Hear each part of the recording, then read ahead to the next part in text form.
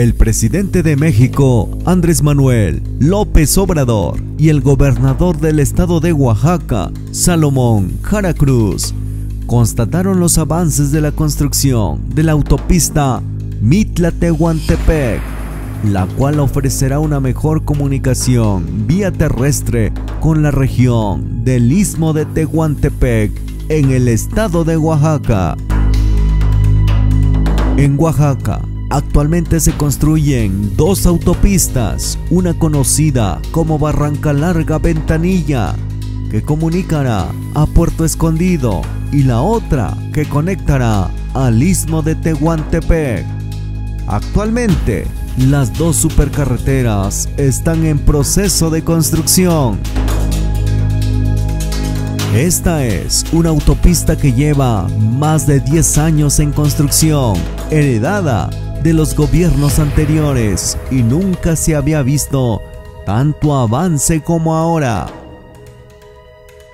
Actualmente lleva un 70.2% de avance y beneficiará a más de 80 mil personas de 13 comunidades de los pueblos originarios del estado de Oaxaca, además de mejorar la comunicación con la región del istmo de Tehuantepec, lo hará con los estados vecinos de Veracruz y Chiapas. Durante la supervisión realizada en el punto La Chisila en Tronque Tehuantepec 2 en el kilómetro 169 de esta vía en construcción, el presidente de la República destacó el trabajo coordinado que se ha llevado a cabo para avanzar en los trabajos de esta importante vía de comunicación y refrendó su compromiso para concluirla antes que termine su periodo presidencial. Este es otro gran reto del presidente de México, concluir a como dé lugar esta supercarretera que conectará con los caminos artesanales que están pavimentando los municipios que se ubican en esta región del estado de Oaxaca. El gobernador del estado de Oaxaca, Salomón Jara Cruz, manifestó que la ejecución de las labores de construcción de la autopista Mitla-Tehuantepec denota el carácter prioritario que tienen las vías de comunicación en el estado, con el objetivo de promover el desarrollo económico y turístico de la entidad. Asimismo destacó que mejorará la seguridad para los usuarios de la vía, y permitirá reducir los costos de operación del transporte y de recorrido a la ciudad de Oaxaca al istmo de Tehuantepec. Al pasar de 4 horas con 30 minutos a 2 horas con 30 minutos. Pero principalmente, indicó, impulsará el desarrollo de las comunidades de alta marginación a través del otorgamiento de recursos federales para la pavimentación de las cabeceras municipales que conectan y forman parte de los accesos a la autopista Mitla-Tehuantepec 2.